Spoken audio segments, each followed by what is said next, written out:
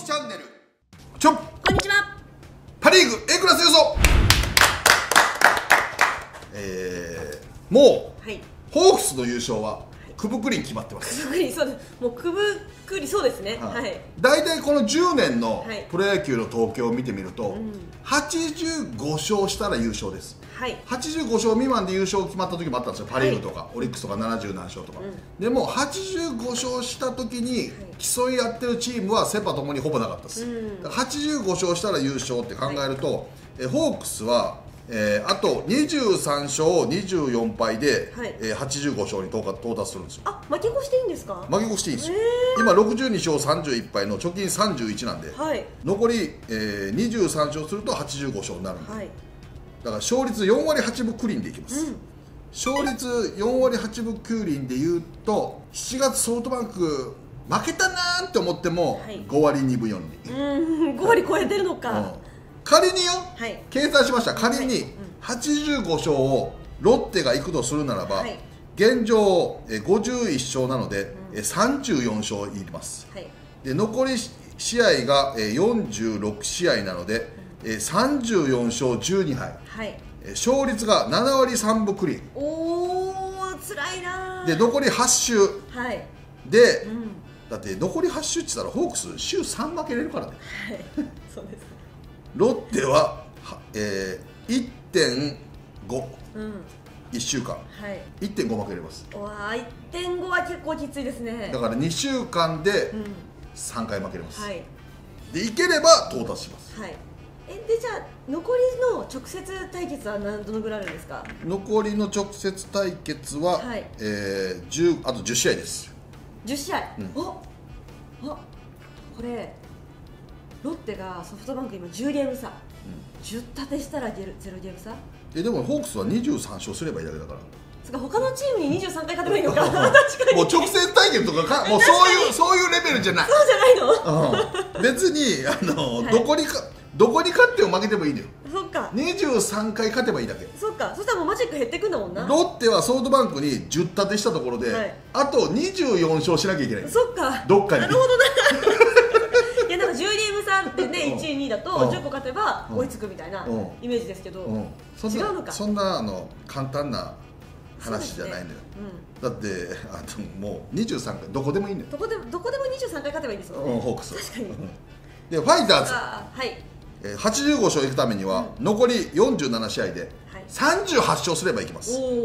現状ね、はい。あの47勝なんで。うん。で38勝9敗、はい。えー8割8厘うん。で到達してます9回負けていいんで、はい。いやいや1週間に1回負けていいです、一週間に1回、うん。うんこれはまあ。ちょっと現実的にはうん。ちょっと厳しい。そうですね。1ヶ月だけで見てうも、ん。今年の最高勝率はロッテの5月。はい。15勝4敗4分けの7割8分9厘なんですよ。はい。逆に言うとこの5月の成績うをロッテは残り8月9月2ヶ月連続で出せればんうん。いけます。はい。実績あるんでね、でも7月ロッテは5割9分1厘。はい。貯金4、これでもいいすごいんだよ。うん。でもそれじゃ届かないんですよ。はい。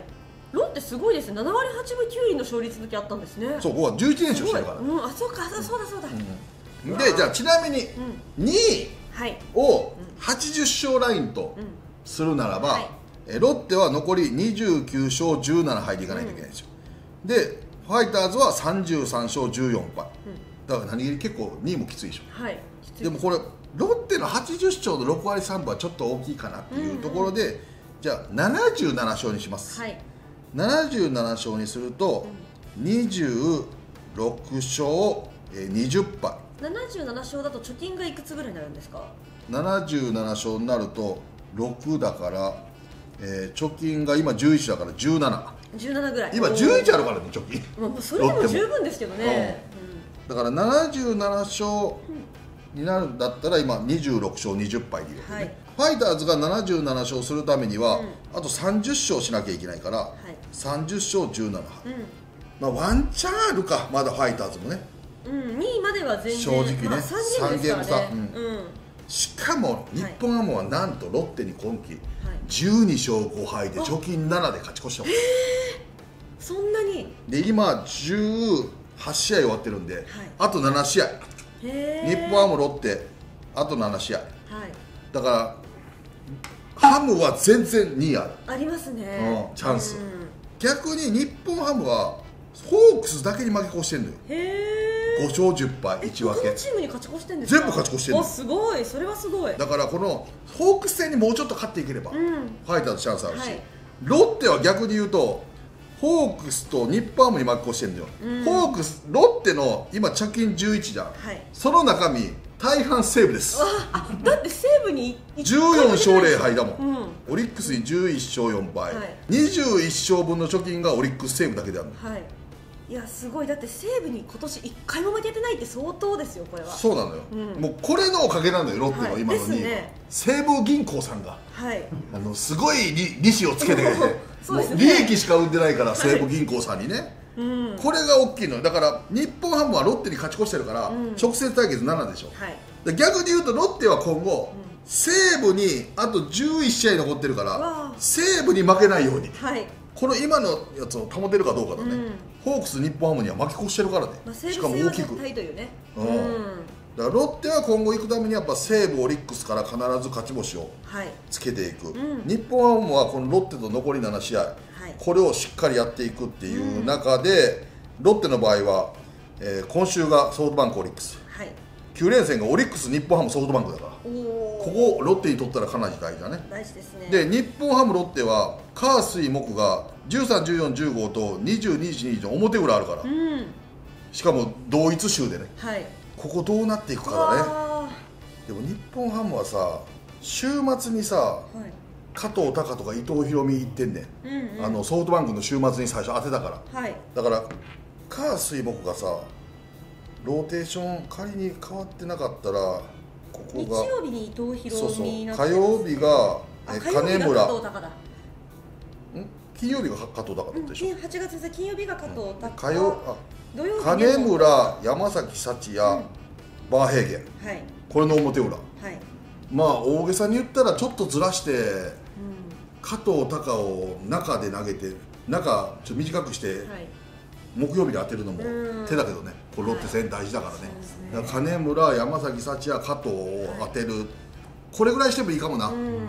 正直。確かに上に日本ハムは、立つという意味でね。うん。う行くためにはね、んはい。でそうなってくればね、ワンチャンあるからね、まあ。新庄さん結構それで変えるじゃないですか。そうそうそう、だから変えた方がいいよね、伊藤博美を持っていくのは無理だと思うね正直、はい。だから現実的に言うと加藤を木曜日うんに持っていくかもう思い切って伊藤をちょっとローテーション間上げて火曜日に持っていって、うん。かあの伊藤金村山崎幸也はい。にするっていう手もあるね、うんうんうんそれぐらいこの火水木のはい。ロッテ戦の6戦、めっちゃ大事だから、はいそれによっては本当に2位もあるからね、うん。今まではちょっとホークス優勝狙いに行ったけど、ちょっともう現実的には難しいから、うん。もうシフトチェンジして2位狙いでうん。そこに当てていくっていううロッテのが時にいいところを当ててくってそう。そういう。でロッテはもう今まで同様オリックスと西武の銀行さん、はい。オリックス銀行西武銀行からちゃんと蓄えを現実にもそこから。た保つ保つことが、ね勝てない相手に勝ち切るよりも、勝ってる相手に勝つのが大事やん、はい。それがどこまでできるかが、い。だからこの勝敗表がどうなるのかが勝負だね,、そうですね。だこの8月のこの2位争いはねうん。大事になってくるね、はい。正直ね、でそれのバタバタしてるところに楽天がクーッと入っていけるからがね。楽天についていきたいですから。でも楽天は本当今月、はい。今月バシッとこの回の西武オリックス相手にしっかり止めて来月のロッテ戦に全集中だからね、うまあどうなってくるからね、まあ、ホークスの優勝はもうクリーン決定でしょ、福さんちょっとゆとりありすぎますね。うん、でも234はまだ分かんないんで、うん。その直接対決とかね、はい。そのあのーどのチームにっていうのはね、そこが分析的には大事になってくると思います。はい